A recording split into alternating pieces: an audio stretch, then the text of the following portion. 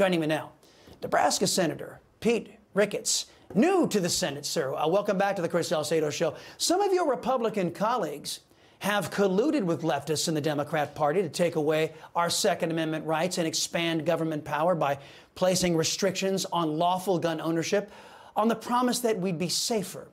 We're not.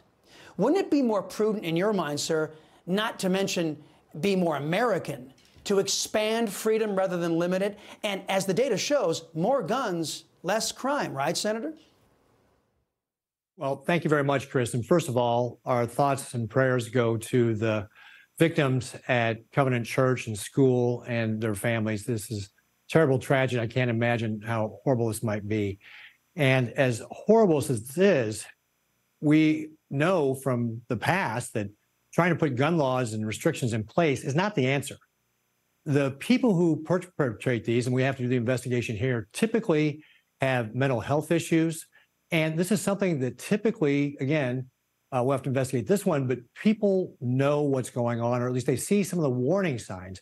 And so part of what we have to do is really educate people about when they see the warning signs that somebody might be doing a, an act like this, that we get to those people, provide them the mental health care, you can look at all sorts of cities that have very restrictive gun laws, and it doesn't do anything for reducing their crime. In fact, you look at Chicago or even Washington D.C. here, they have mm-hmm. you know strict gun laws. In Washington D.C., we've had 200 homicides uh, for both the last two years. So it, restrictive gun laws don't answer the question. The real issue is the people who are doing this. They have mental health issues. We have to get them before they reach the stage where they're going to commit something like this, and that's the real solution. And in fact, I talked a little bit about this in my maiden speech I just made on the floor of the Senate that you know the chief role of government is to keep us safe. And by going down the path of more gun restrictions, that's not keeping us safe. We've seen that. We've got to figure right. out other right. like we, how do we people before they act. Yeah, Senator, we've tried it uh, the Democrats' way and, and, John Cornyn's way and Mitch McConnell's way, uh, stealing Americans' rights for, for decades. Why don't we try something different? Now, you brought up your floor speech. speech. Preserving our freedom was a major theme in your maiden speech on the Senate floor today. You also slammed the growing national security threat at the southern border and, and, and the Democrats' role in all this. Let's let, let the folks at home take a look at this. Undeniably, national security is paramount to the nation's freedom and prosperity. It's the federal government's most important responsibility. But the Biden administration has turned a blind eye to the humanitarian and security crisis at our southern border. Vulnerable people are dying, victims of the cartels. Fentanyl and other dangerous drugs are flooding into our nation. Boy, you said it, Senator. Over a million gotaways, 6.5 million illegal aliens, China's fentanyl poison flowing freely, as you mentioned, women and children sold into sex slavery into the United States, sir.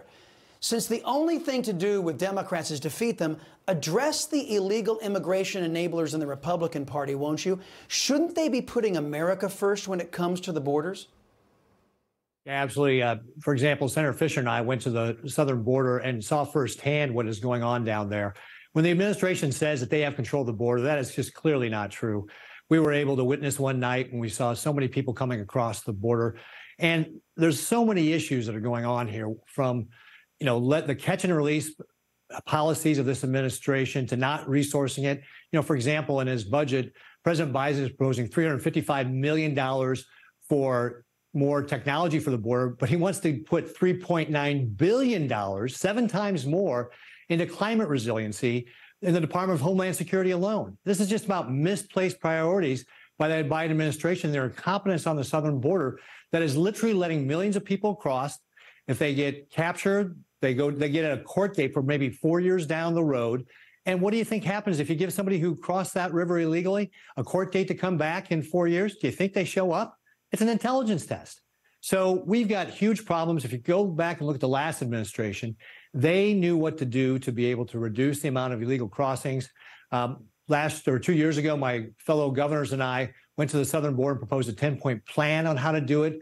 This is stuff that the Trump administration did that is tried and true this is what we need to do to be able to control what's going on on our southern border that has so many terrible consequences, like the drugs that are flowing into my state that are killing young people there. Right. And Senator, we know it works. We know it works. Last thing I wanted to ask you is Americans are tired of the double standard that we're seeing out there. I don't know if you saw this story, but the press secretary for Katie Hobbs, the, she is the, the Democrats' new governor out there. She's uh, has a history of, of making racist decisions.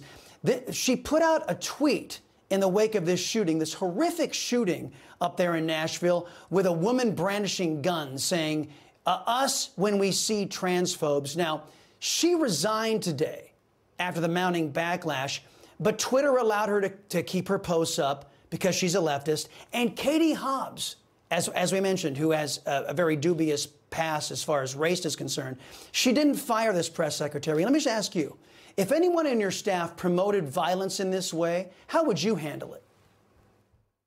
Look, I think we all have to do it. I know I would have zero tolerance for this, and everybody has to have zero tolerance for this.